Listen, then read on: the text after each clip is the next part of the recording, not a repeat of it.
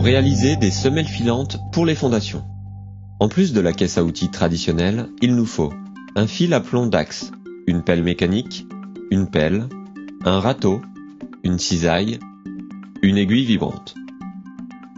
Côté matériaux, on vérifie que tout est bien sur le chantier. Les armatures, le fil de fer, les cales à béton et le béton. Pour votre sécurité, n'oubliez pas les gants, le casque, les lunettes, les protections auditives et les chaussures de sécurité. Première étape, le tracé.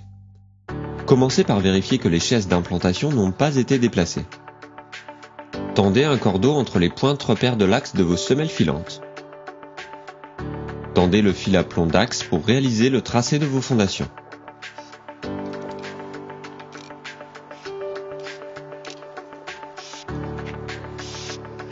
À présent, vous avez l'emplacement de votre semelle.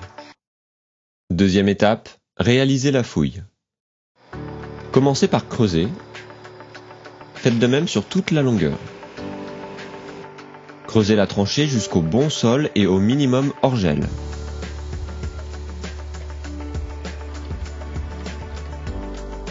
Attention, veillez à ne pas déplacer les chaises. Nettoyez bien votre fond de fouille et retirez toute la terre meuble. Afin d'avoir un fond de fouille propre, coulez un béton de propreté sur un minimum de 4 cm. Troisième étape, positionnez les armatures. Tracez maintenant votre mur à la règle ou au fil à plomb d'axe.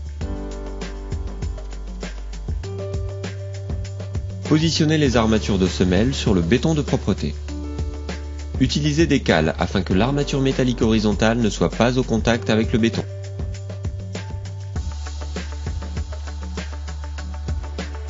Puis, ligaturez la carcasse pour qu'elle ne bouge pas au moment du coulage.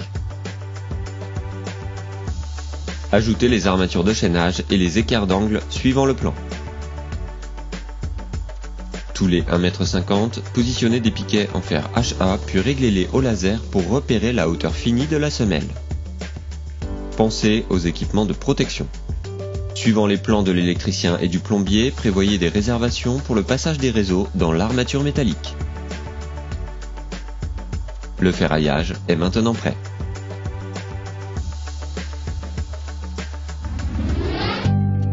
Quatrième étape, coulez la semelle. Préparez ou faites livrer un béton conforme aux prescriptions de l'étude béton. Le béton est coulé directement dans la fouille. Utilisez le vibreur pour vous assurer de la bonne répartition et de la bonne compacité du béton. Attention, pour éviter l'effet de ségrégation, ne restez pas trop longtemps au même endroit. Une fois coulé à la bonne hauteur, égalisez votre semelle.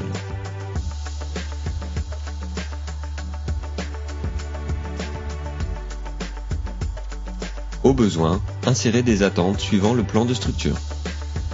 Et voilà, à présent, c'est à vous de jouer.